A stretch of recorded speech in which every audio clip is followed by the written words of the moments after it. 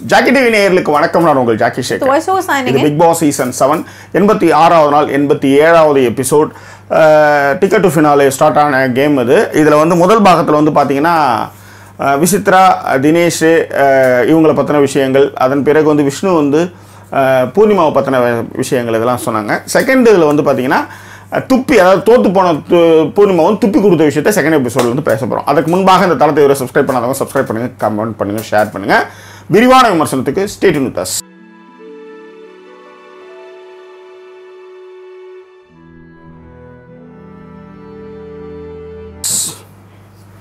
சொல்லுங்க. இப்போ இந்த இப்பெல்லாம் என்னன்னா காலையில பாட்டு போடுறாரு அப்படின்னாலே அன்னைக்கு எபிசோட் ஒன்றும் பெருசா இல்லைன்னு அர்த்தம். இல்லைன்னா காலையில எழுந்த உடனே அந்த பாட்டை ஒரு பத்து நிமிஷம் காட்ட வேண்டிய அவசியமே இருக்காதுன்னு. வச்சுக்கோங்களேன். ஸோ எடுத்த உடனே வந்து பாட்டை போடுவாப்ல அதாவது என்னம்மா கண்ணு சாங்கு அந்த சாங் போட்டு முடிச்ச உடனே பார்த்தீங்கன்னா டான்ஸ் எல்லாம் ஆடி முடிச்சதுக்கு அப்புறம் தான் நோட் பண்ணுவாங்க. மணி அர்ச்சனா இருப்பாங்க. ரவீனா விஷ்ணு மூணு பேர் பார்த்தா டிக்கெட் ஃபினாலே அந்த போர்டு இருந்திருக்கும். டிக்கெட் ஃபினாலே இருக்கு பாரு அப்படின்னும் பொழுது ஐயோ பயமுடுத்துறாங்க அப்படிங்கிற மாதிரி ஏதோ ஒன்று சொல்லும்போது அர்ச்சனா வருவாங்க.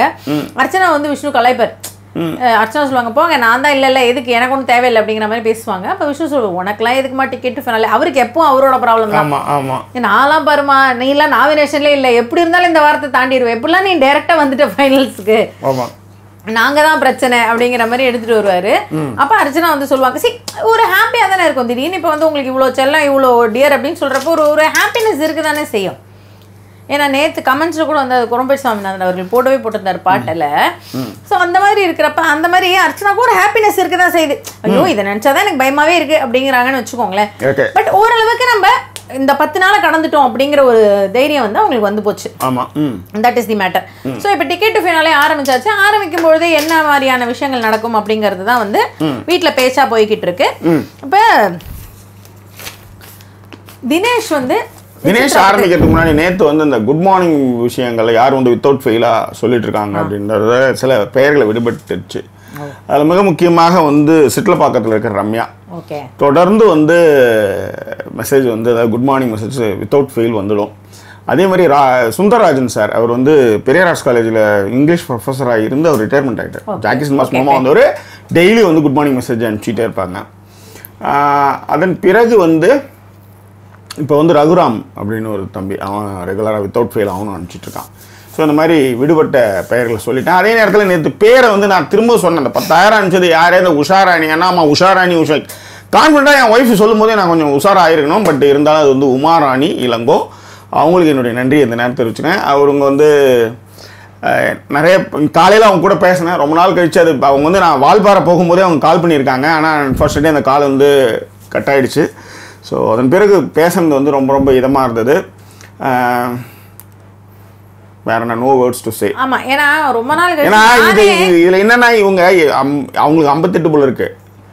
அவங்க ஹஸ்பண்ட் மூலமாக தான் அவங்க அனுப்பிச்சிருக்காங்க அவங்களுக்கு இவங்க என் ஃப்ரெண்டு மூலமாக அனுப்பிச்சு சம்திங் லைக் தட் அந்த குழப்பங்கள்ல அதெல்லாம் கொஞ்சம் இதாகிடுச்சு பட் கிளியர் ஆயிடுச்சு. Thank you thank you so much எல்லாருக்கும் ரொம்ப ரொம்ப நன்றி. நோ வேர்ட்ஸ் டு சே அவ்வளோதான் சொல்ல முடியும். நான் திரும்பவும் சொல்கிறது அதுதான். உம், எங்களுக்கு வியூஸ் ரொம்ப கம்மி தான் நாங்கள் வந்து ஜாலரா அடிக்கணும் யாருக்காவது ஜாலரா அடிச்சா அதுக்குள்ள நான் காசு வாங்கினா எவ்வளோ நான் வாங்கலாம். பட் ஆனா இந்த கெத்தாக நாம் நினைச்சதை பேசுறதுக்கான அந்த ஸ்பேஸையும் நம்ம கரெக்டாக பண்ணுறதுக்கு காரணம் என்னன்னா இந்த மாதிரியான அந்த அன்பை செலுத்துகிற விஷயங்கள் தான். சில பேர் வந்து எங்களால் முடியல அப்படின்னீங்க. முடியாதவங்க அதை பற்றி யோசிக்காதீங்க. அந்த கில்ட் ஃபீலிங்கே உங்களுக்கு வேண்டாம்.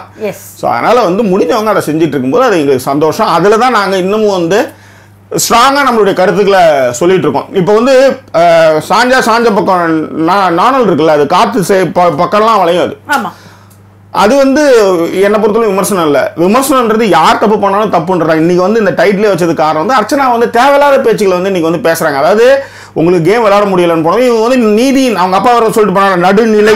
நீதி என்கிட்ட ஒரு பொறுப்போ படிச்சிருக்காங்கன்ட்டு இதனால எந்த ஒரு பத்து பைசா பிரயோஜனமும் கிடையாது. அதை யாரும் கமெண்ட்ல கூட கரெக்டா சொல்லியிருந்தாங்க நேத்து. அர்ச்சனா வந்து கேள்வி கேட்டிருப்பாங்க நான் விசித்ராவை. அவங்கள வந்து கார்னர் பண்ணிருப்பாங்க இல்ல ஏதாவது பேசியிருப்பாங்க. அவங்க அப்பா வந்து சொல்லிட்டு போனதுனால தான் ஆமா. மரியாதையா பேசணும் அப்படிங்கிற மாதிரிலாம் சொல்லிட்டு போனதுனால தான் பாருங்க இப்ப அவங்க அவங்க கேட்க மாட்டேன்றாங்க. எக்ஸாக்ட்லி சேம் அவர் வந்து நீ செஞ்ச ஏதாவது ஒரு உதவி என்னைக்காவது ஒருத்தர் செஞ்சுட்டாங்கன்னா அதை எட்டு வந்து நொட்டணுன்ற மாதிரி சொல்லிட்டு போயிட்டாரு அவரு.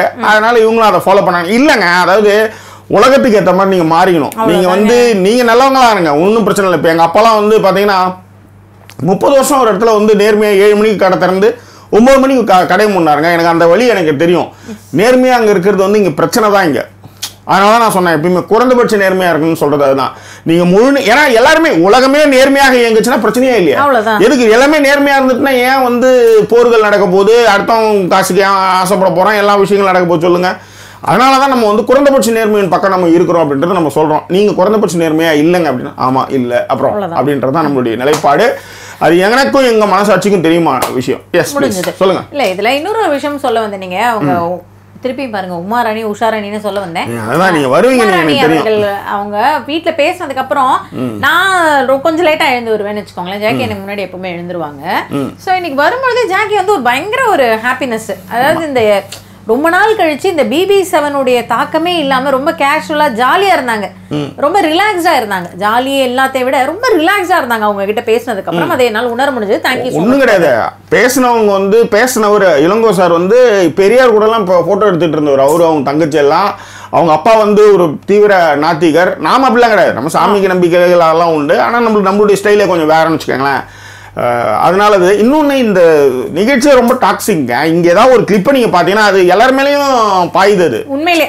நீங்கள் அது அதை நீங்கள் அதுக்கு என்ன சொல்கிறது நான் அதனால தான் எப்பயுமே இல்லாத வாட்டி இந்த இந்த சீசனில் சொன்னது என்ன நான் சிம் சுட்டு போட்டுன்னு ஃபோர்த் சீசனில் போகிற மாதிரி இப்பயும் நான் வந்து சிம் பண்ணுற அளவுக்கு ஆகி போச்சு இந்த சீசன் ஏன்னா அதாவது பொய் சொல்லலாங்க. பச்சையாக பொய் சொல்கிறது அதாவது இது இது வந்து யோசிச்சு பாருங்க இது இந்த இந்த சீசனை நான் ஏன் வந்து இருக்கு நான் இப்படிலாம் இருப்பாங்களான்றதை நீங்கள் பார்த்து தெரிஞ்சுக்காங்க அப்படின்றது தான். ஆமா ஆமா. உண்மையிலே அப்படிதான் உண்மையிலே. நான் அப்படிதான் எடுத்துக்கிறேன். ஏன்னா இப்படியெல்லாம் ஒரு பேச்சு பேச முடியுமா? தான் மேல இவ்வளவு தவறுகளை வச்சு கூட வந்து நான் வந்து எவ்வளவு மாசற்ற ஒளியே வருகின்ற மாதிரி நான் இருப்பேன்னு சொல்ல முடியுமான்றதெல்லாம் இந்த சீசன்ல தான் நான் பார்த்தேங்க. உண்மையிலேங்க. இன்னொருத்தவங்களை புள்ளி பண்றது இன்னொருத்தவங்களை கேவலமா நடத்துறது இன்னொருத்தவங்களை வந்து காலு கீழே போட்டு நசுக்கிறது இதெல்லாம் வந்து நான் இங்க தான் பாக்குறேன் ஆக்சுவலி இல்ல இது பாக்குறேன் அப்படிங்கறத விட இன்னும் யோசிச்சு சொன்னா இன்னைக்கு விஷ்ணு சொன்ன மாதிரி தான் அப்படியே பேசல. நான் சிங்க்ல தான் பேசுறேன். பட் விஷ்ணு வந்து பூர்ணிமாவை பத்தி சொல்லுவாரு மணிக்கிட்ட ஆமா.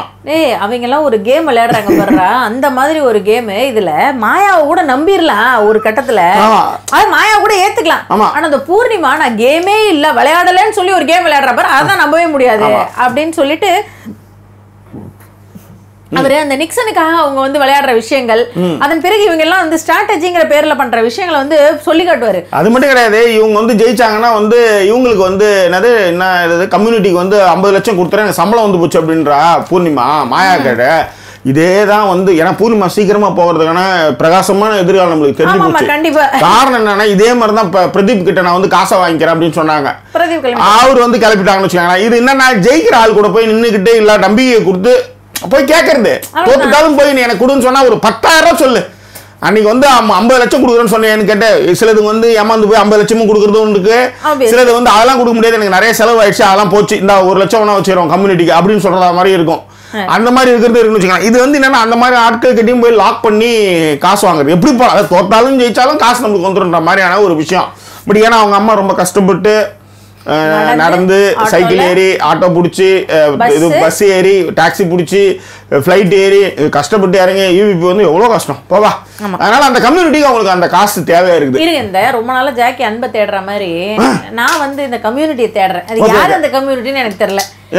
ஏன் கண்டிப்பா அம்- அன்பு கிடைச்சிடுவாருங்க நீங்க ஆனா பட் கம்யூனிட்டி கிடைக்கிறது ரொம்ப கஷ்டம். அதுதான் இப்ப இப்ப போற பக்கம் அன்பை கூட தேடி கண்டுபிடிச்சிட்டோம் போல இருக்கு. கம்யூனிட்டி நம்ம. இவ்வளவு நாள் என்ன பண்ணாங்கன்னே தெரியல அந்த கம்யூனிட்டி இப்ப இரு ஊராமுட்டு காசுல இவங்க கம்யூனிட்டியை விளையாட வராங்களாம் இதுல இந்த கம்யூனிட்டி விளையாடுறத விட விஷ்ணு வேற லெவலுங்க ஃபன்னு டேய். இல்லைங்க நீங்க கம்யூனிட்டி பண்ணுங்க. உண்டி போய் ஊர் ஊரா குளுக்குங்க காசு வாங்குங்க செய்யுங்க. அது என்ன ஊராமுட்டு காசுல போய் கம்யூனிட்டி காசை கொடுங்க நீங்க சொல்றது நான் கேட்கறேன் நானு. சரி ஒண்ணுமே இல்லை. எதிர்க்க ஒருத்தர் எதிர்க்கே ஒருத்தர் ஹோஸ்ட் பண்றாரு? அவர்கிட்ட கம்யூனிட்டி அவர் கலைக்காக அவ்வளவு பண்ணுவார். அவர்கிட்ட போய் கேளுங்க. அவர் என்ன பதில் சொல்றாரு அதுதான் மேட்ரு அவர் கம்யூனிட்டி அவர் கலையெல்லாம் விட்டுருங்க. இப்ப கோத்தூர் ஒருத்தர் ஜாக்கி ஆமா அவர்கிட்ட கேளுங்களேன். சார் ஜெயிச்சா நான் வந்து தரேன் நீங்க என் கம்யூனிட்டிக்கு என்ன பாருங்க சரி அவங்க அவங்கள்ட்ட ஆட்டையை போட்டு வச்சிருக்காங்க. நீங்களும் ஒரு அமௌண்ட் கொடுங்க அப்படின்ட்டு. கொடுங்க. ஆனா இவங்க மட்டும் என்னன்னா ஜெயிச்சாங்கன்னா இவங்களுக்கு ஒரு கார் வாங்கிப்பாங்களா? மத்தபடி கம்யூனிட்டி ஆமா ஆமா அது என்ன அதுதான். அற்புதமான பிளான் வச்சுக்கலாம் ஆழ்ந்த கருத்துக்கள் உள்ளதுன்னு வச்சுக்கோங்களேன். விஷ்ணு வந்து பூர்ணிமாவை கலாய்க்கிறது அந்த ஐம்பது லட்சத்தை அவர்கிட்ட கொடுக்குறேன்னு உருட்டுடா இவ அதுக்கப்புறம் அவங்க என்ன உருட்டுறாங்கன்னா கம்யூனிட்டிக்கு பண்றதுக்காக. ஏன் இதெல்லாம் சொல்றீங்க? அவனே இவர் சொல்றாரு "ஏய், இல்லடா அந்த மாதிரி ஏதாவது ஏ ஒழுங்கான காரணத்தை சொல்லிட்டு. ஒண்ணு இல்லடா வெளியில போயிட்டு ஒரு ஐநூறு ரூபாய் கேட்டு பாரு. கொடுக்க மாட்டாரு. சரி ஆயிரம் ரூபாய் கேளேன் call in five ten minutes அப்படின்னு சொல்லிட்டு காலை கட் பண்ணி இதான் நிதர்சனம். எதா அதாவது நீ சொல்லு. எல்லாரும் சொல்ல ஆனா இந்த கேமராக்காக பேசுறதுன்னு ஒண்ணு.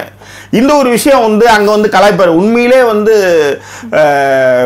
இந்த பையன் ட்விட்டர்லாம் போட்டாங்க ஜாக்கியா நீ சொன்ன மாதிரி வேற லெவல் கலாய விஷ்ணு அப்படின்ட்டு ஆஜிலாம் ஸோ இதுல என்னன்னா ஃபர்ஸ்ட் காலையில செம காமெடி விசித்ரா நடிப்பை வந்து அழகா போட்டா உடைப்பாருன்னு வச்சுக்கோங்களேன். தினேஷ்? ஆமா விஷ இப்ப இந்த விசித்திரா கதர்கள் எல்லாம் போயிட்டாங்க. ஏன்னா அவங்களுக்கு புரிஞ்சு போச்சு என்ன கதைன்ட்டு. இதே மாதிரிதான்.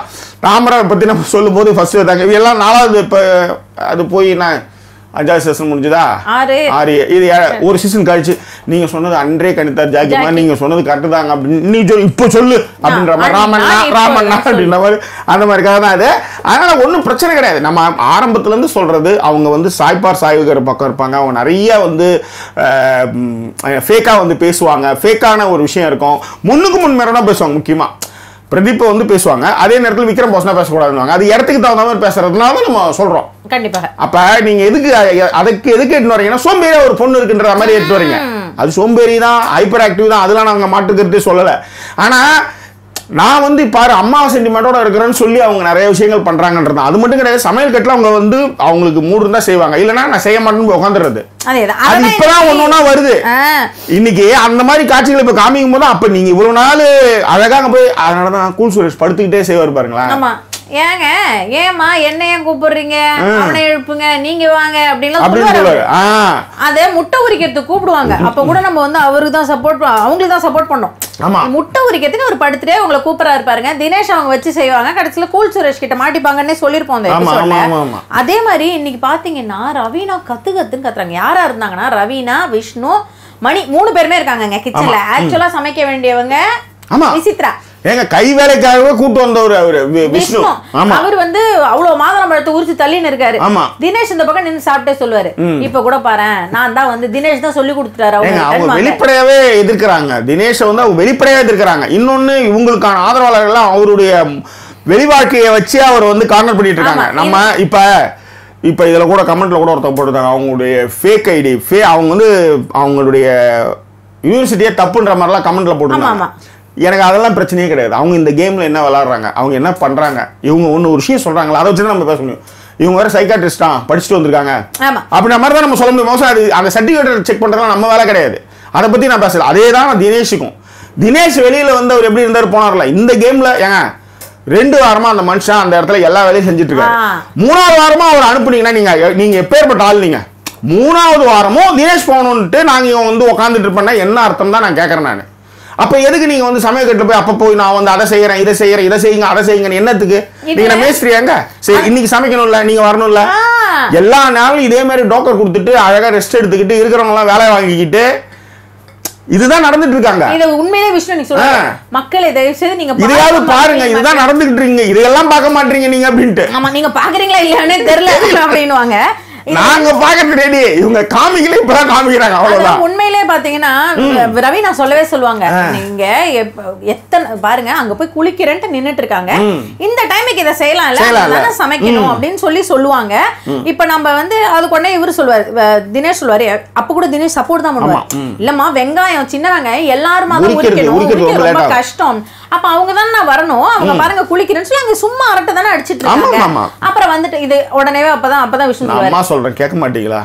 நான் சொல்றேன் கேட்க மாட்டீங்களான்னு அடுத்து ஃபர்ஸ்ட் அந்த அம்மா. இது வந்து முதல்ல மண்டையை கழுவிட்டு அதுக்கப்புறம் அவங்க பேசுவாங்க. எப்படி பேசுவாங்கன்னா நான் தானே சமைக்க போறேன் அப்படின்னு. இப்ப இதே தானே அர்ச்சனா சொன்னாங்க. நீங்க இதெல்லாம் செஞ்சு வைங்க நீ செய்வி நீ செஞ்சு வை நீ செஞ்சு வைன்ட்டு. ம். எல்லார்ட்டையும் எல்லா வேலையும் வாங்கிக்கிறாங்கன்னும் போது மட்டும் அப்படியா அப்படின்லாம் நீங்க கேட்டீங்கல்ல?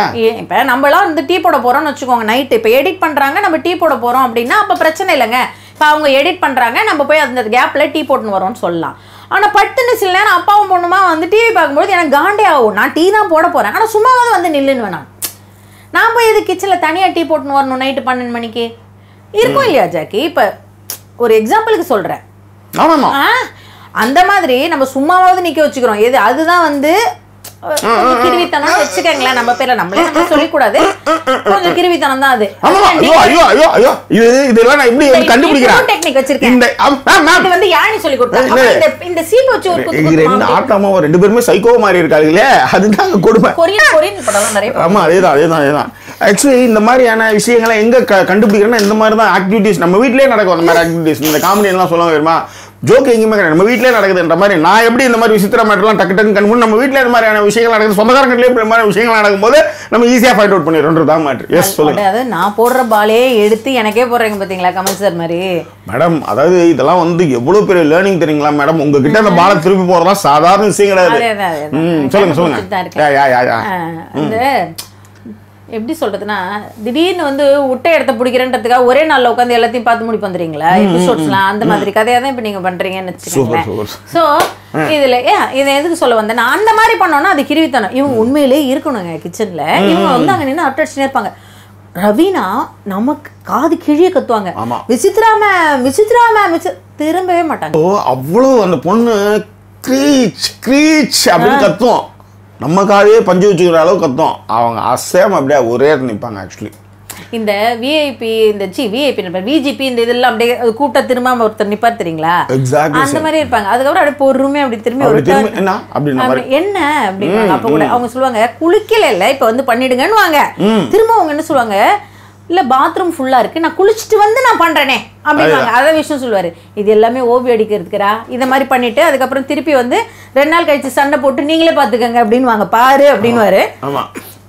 அப்ப ரவீனா திரும்ப சொல்லுவாங்க ஏன் இந்த பாத்ரூம் தான் ஃப்ரீயா இருக்கீங்க குளிங்க. இல்ல ஷாம்பூலாம் அங்க அங்க இருக்கு. எல்லாத்துக்கும் ஒரு பதில் இருக்கும். அது நீங்க சரி விடுங்க. சரி விடுங்க. நம்ம வந்து ஆவாதவங்களா போயிடுவோம் எல்லாம் சொன்னா. ஆமா இது வந்து பட் ஆனால் நான் வந்து டுவெண்ட்டி ஃபோர் இன்ட்டு செவனில் கொஞ்சம் பார்த்தேன். கவின் அனுப்பிச்சு வச்சிருந்தான். அதில் வந்து பார்த்தா இது என்னன்னா அந்த இல்ல. மேடம் தயிர் சாதம் இல்ல. வெண்ணிலவே வெண்ணிலவே. என்னை. தாண்டி வருவாயா? அதாவது அந்த அப்பா வந்து சொல்லிட்டு போயிட்டாரு நிக்சனை நல்லா ஆடுறடா தம்பி அப்படின்ட்டு எல்லாருமே பா சொல்லிட்டு போயிட்டாங்க சாங் அந்த இந்த சாங்ல இருந்து. தொட்டு தொட்டு அதுல இருந்து ஸோ இந்த வெண்ணிலவே சாங்கு நல்லா பண்ணீங்களா நல்லா பண்ணாங்களான்னு கேட்டுட்டே இருக்கிறாப்புலன்னு வச்சுக்காங்களேன். ஆடினாங்க ஆக்சுவலி அது வந்து அந்த நெத்தியை முட்டிக்கிட்டேன் இப்போ என்னால நல்லா ஆடவே முடியாது மேடம் என்னால் அந்த ஸ்டெப் எனக்கு வராது எனக்கு அப்படிதான் வரும் என்னால் ஆட முடியாது actually I couldn't I couldn't dance இல்ல you can but that song that's costume I didn't so அந்த மாதிரி வந்து ஒரு ஆடி எல்லார்கிட்டையும் வந்து கேட்பாரு அதாவது என்னன்னா திரும்பி கூட ஒரு வாட்டி ஆடலான்ற மாதிரி அவர் ரொம்ப ஆர்வமாக இருப்பார் அவர் அது மட்டும் தான் நான் சொல்லுவேன். அப்பதான் வந்து அங்க இருந்துக்குன்னு சொல்லுவாங்க. டேய் கையா வச்சுக்கிட்டு சும்மா இருடா அப்படின்லாம் வந்து அங்க நான் பார்க்கல. பார்த்தா நான் சொல்றேன். ஆமா. அது வந்து செகண்ட் பார்ட்ல காமிக்கிறாங்களான்னு தெரியல. நாங்க பாதியிலே வந்து பண்ணிட்டு இருக்கோம் ஒருவேளை காமிச்சா அதை இன்னும் கொஞ்சம் டீட்டெயில் பேசுவோம். இதுல என்ன கொடுமைன்னா நம்ம விஷ்ணு வந்து கூப்பிடுவார் இவர். விஷ்ணு அவர் ஃபர்ஸ்ட் ஆடும்போது இருக்க மாட்டார். அவர் ஏதோ பாத்ரூம்ல இருப்பாருன்னு நினைக்கிறேன். அவர் வந்து பார்க்கும்போது அவருக்கே அதிர்ச்சி ஆயிடும். ஏய் என்னடா.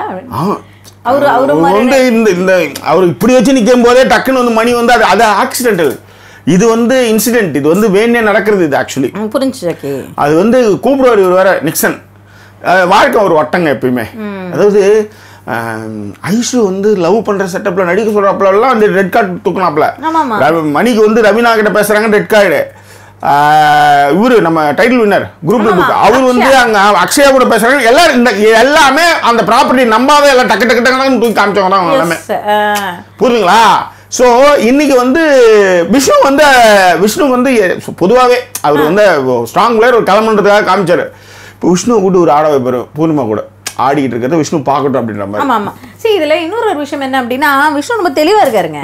அவருக்கும் வந்து தெரியுது இவங்க என்ன ஏது டூ அப்படின்னு சொல்லி sisters came and tell whatever whatever அது அது தெளிவா சொல்லிட்டு போயிட்டாங்க சும்மா என்னதுக்கு ஒன் ஹவர் தனியா உட்காந்து பேசு என்னது அது? அப்படிங்கிற மாதிரி இன்டெரக்டா அவங்க தங்கச்சி கேட்டே போயிட்டாங்க. ஆமா ஆமா ஆமா. அதுவும் அந்த கொஞ்சம் என்ன சொல்றது?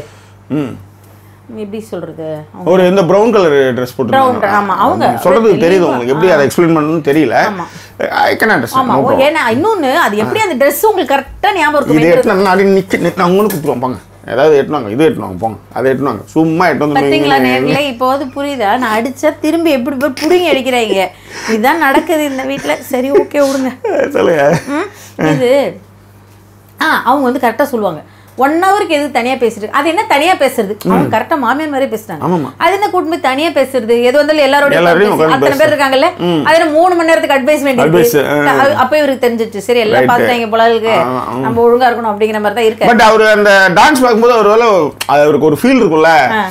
அப்படின்னு கை தட்டி போடுவார் அவர். அவ்வளவு ஜாக்கி இதுல என்னன்னா அவருக்கு தெரியும். இப்படிதான் என்ன ஆட வச்சுட்டு நான் தான் பாரு இப்படி நிக்க வச்சு இன்னைக்கு நின்னு விஷ்ணு வந்து ஃபுல் பொசசிவ் மோட் அப்படின்னு அவங்க சொல்லுவாங்க. அது முடிஞ்சிச்சு. இப்போ கம் டு த பாயிண்ட் காலையிலே திருப்பி வந்து டிஸ்கஸ் பண்ணுவாப்ல தினேஷும் விஷ்ணு. விஷ்ணு. என்ன டிஸ்கஷன்னா ஸ்மால் பாஸ் வீட் வாசலே உட்காந்து டிஸ்கஸ் பண்ணிட்டு இருப்பாங்க. அதாவது இந்த டிக்கெட் டு ஃபினாலே வைக்கிறதெல்லாம் பிரச்சனை இல்லை. உயிரை கொடுத்து விளையாடலாம். தினேஷ் சொல்லுவாரு. ஆனா இவன் கேம்னு ஒண்ணு பண்ணுவானுங்க பாரு. நிக்சனுக்கு பூர் அதாவது பூர்ணிமா நிக்சன் நிக்சன் வந்துட்டோம். பூர்ணிமா வந்துட்டோம். அந்த பூர்ணிமா கூட வந்துகிட்டு. எனக்கு அதை பத்தி பிரச்சனை இல்லை. ஆனா அதுக்காக ஒரு கேங் ஃபார்ம் பண்ணி ஒரு கேம் விளையாடுவானுங்க. நம்ம எல்லாம் போட்டு முடிச்சதுக்கப்புறம் பூர்ணிமா நிக்சன் இவங்களாம் வரும்போது ஒரு ஓட்டிங் மாதிரி எடுத்துட்டு வந்து அவங்களுக்கு இவங்க விட்டு கொடுப்பாங்க அப்படின்றத ஃபர்ஸ்டே சொல்லுவார். அப்புறம் விசித்ரா பத்தியும் சொல்லுவாங்க. விசித்ரா வந்து இப்போ இது வந்து தாண்டிட்டாங்கன்னா அதுக்கப்புறம் வந்து என்னது எமோஷனலா வாட் இஸ் த சென்டிமெண்ட் சென்டிமெண்டலா வச்சு அவங்க கதையை அவங்க ஓட்டி கதையை ஓட்டுருவாங்கன்ற ஓட்டுவாங்க. மாதிரி விஷயம் சொல்லுவார். சரி இது முடிஞ்சது. வாட் வாட் இஸ் அர்ச்சனா அப்படின்னா அர்ச்சனாவுக்கு ஃபினாலே விளையாட முடியாதுன்றத புடுங்கி அதை வந்து கொடுக்கணும்னு சொல்லிட்டாங்க. இல்ல அது கடுப்பாயிடும். அதான் இவங்க வந்து பூர்ணிமா கிட்ட ஒன்று கொடுத்துட்றாங்க. இப்போ அவங்க விளையாடல.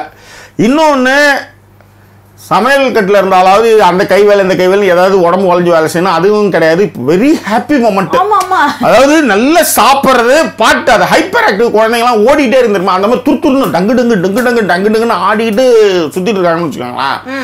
அது நீங்க ஆடுறதுலாம் பிரச்சனை இல்லை.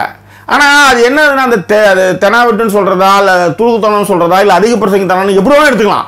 நீங்க ஃப்ரீயா இருக்கிறீங்கன்றதுக்காக உங்களுக்கு ஒரு பொறுப்பை ஒப்படைச்சிட்டாங்கன்றதுக்காக ஆப்போசிட்ல இருக்கிறவங்க எல்லாருமே வந்து கேமா வந்து கூட்டம் கூடி விளையாடும் போது தினேஷை மட்டும் ஏன் இந்த கேள்வியை கேட்குறீங்கன்றதான் என்னுடைய கேள்வி. அப்ப இதே மாதிரியான பொறுப்பு தான் வந்து ஒண்ணு கொடுத்துருக்காங்க யாருக்கு? விஜய்க்கு. விஜய் வந்து கேட்காத விட்டும் போது நீங்க கேட்டா பரவாயில்ல. மத்தபடி வந்து நீ எட்டு வந்து வை போ அதுல இன்னும் ஒரு கட்டு தான் இருக்குது போறது வர்றது அதே மாதிரி கிரிக்கெட்ல வந்து எல்லாரும் கை தட்டி பண்ணலையா? அந்த மாதிரி தான் நான் பண்றேனே சொல்லுவார். ஏமா உன் வேலை என்ன? காரை போறது. அஹ், இப்ப வந்து அதுல வந்து ஒரு வரி குறிப்பிட்டிருந்து. இந்த மாதிரி யாரும் வந்து கை கை தட்டக்கூடாது யாரும் எதுவும் சொல்லி தரக்கூடாதுன்னு ஒரு வார்த்தை சொன்னா நீ தாராளமா நீ தாராளமா சொல்லலாம். அப்படி எதுவுமே இல்லாத போது நீங்க ஏன் ப்ரோ சொல்றீங்கன்னு சொல்றது எந்த வகையில் நியாயன்றது என்னுடைய கேள்வி. உண்மையிலேங்க அது. ஏன்னா அவங்க மூணு பேருமே டீமா போட்டு விளையாடும் போது நீங்க ஏன் இங்க வந்து மட்டும் பேசுறீங்க? அதை ஏன் நீங்க சொல்றீங்க போறீங்கன்னு சொல்றது எந்த வகையில் நியாயம் அப்படின்றது இங்க கேள்வி. இது வந்து அர்ச்சனாவுடைய அதிக பிரசங்கித்தனம். இது நீங்க ஃபினாலே டைம்ல தேவையில்லாம நீங்க விஷ்ணு இங்க தேவையில்லாம தினேஷ் விஷ்ணு குரூப் எல்லாம் நீங்க பகச்சிக்கிறீங்கன்ற. உங்களை எந்த பக்கமே கிடையாது. நீங்க அங்க நியூட்ரலா இருக்கிறதா அங்க வந்து நீங்க செய்யற ஒரே வேலைன்ற நான். எஸ் இப்போ நான் பார்க்காதவங்களுக்கு புரியாது இல்லையா ஜாக்கி? அது எதற்காக ஜாக்கி இப்படி இதை சொல்ல வந்தாங்க அப்படின்னா டிக்கெட் டு ஃபினாலேயில் முயல் டாஸ்க்குன்னு ஒன்று வச்சுருவாங்க. ஓகேங்களா. இப்போ முயல் டாஸ்க் வந்து நடக்கும் இல்லைங்களா? அந்த முயல் டாஸ்கில் என்ன அப்படின்னா ஒரு முயலுக்கு வந்து ஒரு நீங்கள் கோட்டை மாதிரி கட்டணும் முயலை வந்து எடுத்துடணும். இதுதான் சத்தியமா எனக்கு அந்த முதல் டாஸ்க்கே புரியல. இவ்வளோ என்னென்னும் எக்ஸ்பிளைன் பண்ணி பார்த்தா. எனக்கு அதெல்லாம் தெரியும் நீயே சொல்லிக்கிட்டு நான். ஆமா. இப்போ என்கிட்ட நீங்க எனக்கு ஒரு புதிர் அனுப்புறீங்கன்னு வச்சுக்கோங்களேன் டப்புன்னு delete பண்ணுவோம் அதுக்காக நான் யோசிக்கவே மாட்டேன். This is none of my business don't I don't waste my. Time அதை கண்டுபிடிச்சி ஏதாவது இப்போ இதை இதை பண்ணி இதெல்லாம் பண்ணா இதை திறந்தா இப்படி போயிடலாம் அப்படின்னா ஒரு நியாயம். இப்போ சிம்பிள்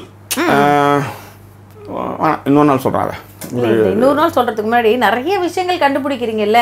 பிக் பாஸ் வீட்ல வந்து ஏசி ஜாஸ்தியா இருக்குன்னு கண்டுபிடிச்சிங்களாமே. அது இன்னைக்கு தான் இப்ப இப்ப கண்டுபிடிச்சதுனால இல்ல, madam. மத்ததெல்லாம் கண்டுபிடிக்க தெரியுது இல்ல தெரியுதா இல்லையா? தெரியுதா இல்லையா? அந்த பயம் இருக்கட்டும். ஏசி எதுக்குன்னு கேட்டா அதுக்கு எனக்கு அனுப்புறாங்க ஜேக்கி இல்ல, ஜேக்கி ஏசி வந்து அதிகமாக இருக்கு. குளிர் அதிகமாக இருக்கு ஆக்சுவலி இப்போ ஊட்டியில் கூட வந்து பார்த்தீங்கன்னா சுரண்ட அளவு பண்ணியிருக்கு மேடம். உண்மையிலே ஊட்டியில் ஜீரோ மைனஸ் ஜீரோ அதனால வந்து குளிர் நிறைய இருக்குன்னு சொன்னேன். இது மார்கழி மாசம். கார்த்திகை மாதம் மார்கழி எழுந்து வேட்டையாடவே விரதம் இருந்து பார்த்தேன் சா- அம்மா காப்பிரைட் அடிச்சதாப்பா ஓகேவா. சரி அதான் அந்த முயல் டாஸ்க்னு ஒன்று வைப்பாங்க. டிக்கெட் ஃபினாலியோட ஃபர்ஸ்ட் டாஸ்க் அது. அந்த டாஸ்க்ல வந்து செகண்ட் டாஸ்க் எனக்கு கூட தினேஷ் நான் இன்னும் பயந்துட்டேன் டக்குன்னு அவர் தினேஷ் அந்த இதெல்லாம் கட்டிட்டு ஆடிட்டு வரும்போது. அப்புறம் பார்த்தா அது முயல் நான் கொஞ்சம் பயந்துட்டேன் ஆக்சுவலி எனக்கு கொஞ்சம் பயந்து சும்மா ஃபியர் ஃபியர்லி பர்சன் நான் கொஞ்சம். ஆமா அவர் வந்து "டேய், இப்படி இருக்கு அப்படின்ட்டு. அப்புறம் கடைசியில் பார்த்தா அதெல்லாம் ஜெயிச்ச முயல்லாம் வந்து இடுப்புல கட்டிட்டு வராரு போகுது எனக்கு தெரியல அது ஆக்சுவலி தினேஷா? விஷ்ணு? விஷ்ணு பாருங்க அதுல எனக்கு little bit confused of that state ஆனா அது முயல் கியூட்டா இருந்ததுயா எது நல்லா இருந்தது சரி, வாங்க, ம். இவங்க வந்து என்னன்னா முயலை வந்து காப்பாத்துறாங்க இதான் அந்த அவங்க சொல்ற மணி அந்த சொல்றதுக்குள்ளார யார் பேர் வருதோ அவங்க வந்து அந்த கோட்டையை கலைக்கணும் முயல் எடுக்கணும். இதுதான் வந்து இதான் டாஸ்க் நீங்க அடுத்தவங்க கோட்டையை கலைச்சிட்டு கலைச்சிட்டு கூட வைக்கலாம். அடுத்த வாட்டி வந்து திரும்பி அந்த பாதி கோட்டை இருக்கும்போது திரும்பி எடுத்து போடுறதுக்கு சார் உண்மையிலே மாயா ஃபர்ஸ்ட் கிளாஸா பண்ணாங்க. ஒரே இடத்துல அப்படி அழகா அப்படி தூக்கி இந்த அந்த. ஸ்டாட்டிஸ்டிக்ஸ் வந்து யாருமே அந்த வீட்ல பண்ணலங்க. ஆமா.